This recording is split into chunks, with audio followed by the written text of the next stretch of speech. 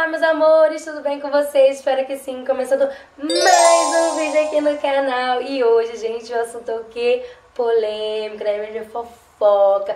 Coisa que eu adoro fazer nesse canal é contar fofoca, falar sobre minha vida, o que acontece, o que deixa de acontecer. E vocês também adoram mesmo. Como vocês viram aí no título do vídeo, meu marido está trabalhando com a ex-amante. Nossa, mãe, você deve ter, assim, muita cabeça, você deve ser super madura. Enfim, quer saber mais sobre esse assunto? Deixa bastante like agora no começo do vídeo. Se inscreve no canal se você ainda não é inscrito ainda. E também me segue no Instagram, gente, que eu tô em tempo real fazendo várias histórias. Fala, quer saber minha vida? Vai no meu Instagram. Então, roda a vinheta e bora lá pro vídeo. Don't show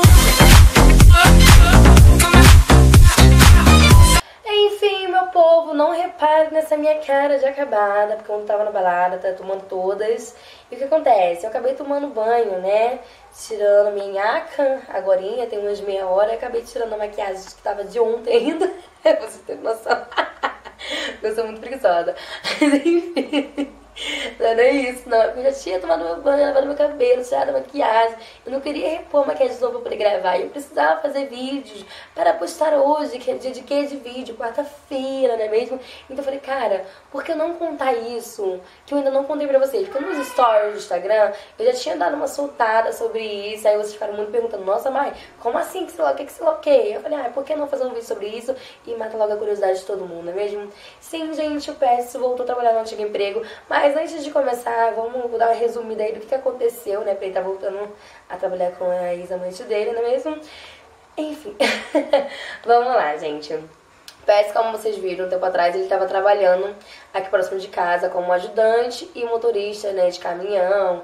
E estava dando tudo super certo. Só que ele não sabia que ele estava ficando no lugar de outra pessoa. Pois é, meu povo. E acabou que essa pessoa voltou depois de um mês, que ele tava com a perna quebrada, sei lá o que tinha acontecido com o moço. E o Pérez acabou sendo mandado embora, né? Infelizmente, tava até, tipo, o melhor emprego, porque, tipo, de segunda só a sexta, se não me engano. Ai, nem lembro agora. Mas, enfim, tava um horário bacana, eu tinha gostado tudo. Então, mas enfim, né? Acontece isso nas melhores famílias brasileiras. Aí ele ficou em casa, né? Ele chegou, foi mandado embora, chegou em casa na segunda-feira. E eu falei assim, Péssimo, eu não vou começar de novo os meus estresses da vida de ficar pagando aluguel daqui, pagando aluguel do salão, luz, água, internet, tudo sozinha, né? Não, não, não, ó, vou, tirar, vou fazer um seguinte com você. Te dou três dias para você arranjar algum emprego ou você vai simplesmente voltar pro seu antigo emprego, né? Onde eu fiz barraco, tudo aconteceu, mas enfim, continuando aquele daqui a pouco eu paro nisso. e nesse ele falou, não, eu não quero voltar pra lá, não, isso não vai dar certo. E eu falando, Petson, você quer ainda ficar com a menina? Ele, não, não quero não, você tá maluco? Eu falei, então, você vai para trabalhar ou o que você quiser fazer também. Porque, olha, gente, eu tô tão assim, tipo, foda-se com a vida, né? Porque, tipo assim, pagando meu aluguel, pagando minhas coisas tudo certinho, onde ele vai enfiar o pinto, o problema é tudo dele, entendeu? Então, eu tô muito zen sobre isso. Então, quando a pessoa falava assim, nossa, mas você ia bater na menina por causa do pet, jamais, gente. Uma coisa que na minha vida que eu não brigo é por causa de macho, porque em cada esquina tem um pinto diferente onde você pode sentar e ser feliz. Isso era o meu pensamento desde bastante tempo, que eu já briguei por causa de macho uma vez né? Foi feio pra, chuchu, que eu acho que isso é uma coisa mais ridícula da vida. Eu quis brigar com ela, não foi por causa do PS, foi por causa que ela foi muito mal criadinha nas mensagens que eu estava mandando com ela e ela fala, meio que. Enfim, eu não quero voltar sobre esse assunto, né? Deu uma pausa aí. Aí eu falei isso, ó, você tem três dias e você vai voltar. Ele ficava, não, não quero voltar, não quero voltar. Eu falei, você vai voltar que tiver que voltar. Deu esses três dias, eu falei assim, agora você vai procurar procurar sua antiga patroa e vai pedir para voltar, nem que seja para trabalhar nos finais de semana, né, para ter um, pelo menos um dinheirinho toda semana para poder pagar pelo menos o aluguel. Aí ele não querendo, né, foi saindo praticamente, sabe aquelas crianças birrenta que sai batendo pé? Foi o Pets. foi batendo pé, mandou mensagem. E ela falou assim, não, tem, tipo assim, pra, emprego pra você sempre tem, porque o Pets sempre saiu de boa nos lugares. O Pets sempre foi um menino muito trabalhador, isso eu não posso negar não, gente. Ele sempre fez tudo direitinho, né? Só essa cagada que não.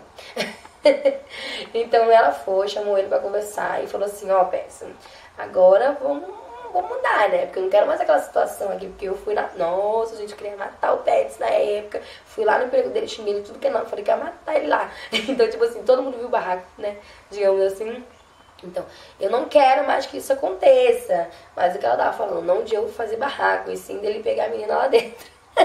Essa é a realidade, né? Que ela quis dizer, né? O que ela passou pra ele. Ele, não, só vim pra trabalhar, tal, tal, Aí o que, que eu falei pra ele? Petson, uma coisa só que eu vou dizer pra você. Você vai entrar lá dentro e você vai trabalhar. Se eu ficar sabendo de alguma coisa, você simplesmente vai pegar as suas trouxinhas da minha casa e vai meter o pé pra casa da sua mãe. Ele, não, que você não promete que eu vou trabalhar, tal, tal. Aí Deu dois dias, gente, dois dias trabalhando, o pé já me começou a me estressar. Porque como eu falei que eu não queria ir conversando com ninguém, só podia conversar com uma menina que eu já conhecia lá dentro, né? Que nem, nem menina, mas uma tia. E a outra tia do DVD que já, já conversava, bate a papo, e ela sempre fala as coisas que ele faz lá dentro, né? Eu sabia de tudo por ela e pela segurança e por essa, algumas pessoas também de lá. Então eu falei, só pode falar com essas duas pessoas. E com a patroa, lógico, né, gente? Não tem como não falar com a patroa dando emprego. Aí não, tá tudo certo. Dois dias da veia fofoca. Ah, e ele contou que você não que Não, a menina falou, nossa, o pai acabou de me contar que você falou que não podia falar com ninguém, que sei lá o quê. Eu já olhei pra cara do, meu, do. Ele chegou em casa. Não, não chegou em casa, tava lá no salão.